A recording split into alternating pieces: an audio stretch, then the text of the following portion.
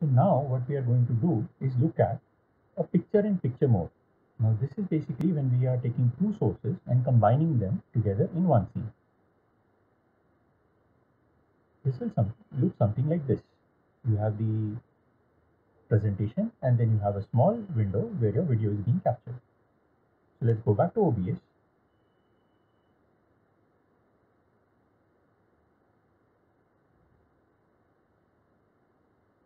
Now what I'll do is I'll use my previous scenes and I will incorporate the picture in picture into this. So as we did in the talking head, what I'll do is I'll go to slides, add another source which is the video capture device.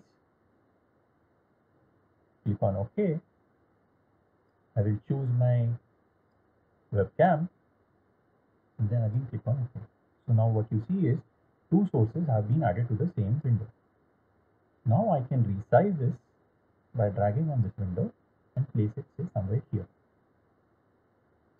Again, I could also transform the window which has the presentation and remove all the this area by cropping into it and also I can transform my video as we did earlier so let's do again a 350 from here, 200 from the right and close. So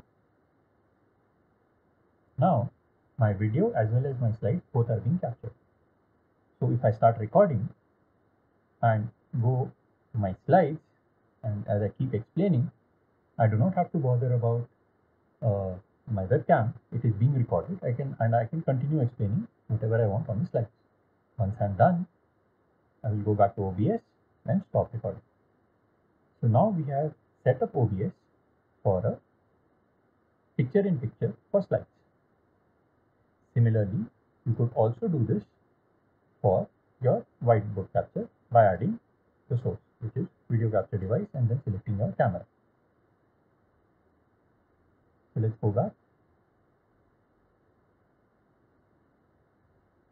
Now what we saw was, we saw the setup for the picture in picture mode for the presentation as well as the writing board while the video is being recorded. Now what I'm going to talk about is, suppose I want to switch between modes. Sometimes I want the picture in picture mode to be recorded. Then I want to switch to my writing board. Now I do not have to record these separately and then uh, add combine them later. In OBS what you can do is while you are recording you can switch the scenes and it will automatically switch it in the recording. So let's go back and look at it. So now I'm in OBS and now you see there are three scenes which have been set up. Scene 2 which is basically my talking head. Scene 3 which is my writing board and scene 1 which is my picture in picture. Now as I was telling earlier, I also have a simulator which I want to set up. So as I do not need a talk, just the talking in video, I will remove this scene. I click on minus and yes. And I'll add another scene in which I will add a window capture which, which is basically a software called Cisco Packet Tracer which is open on my desktop.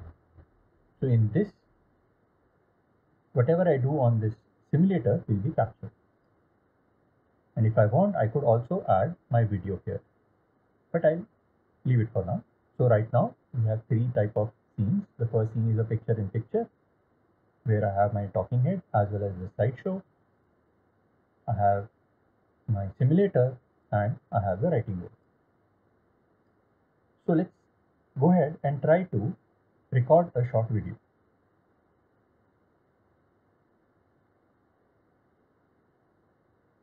And go back. So this is my slide. I'll be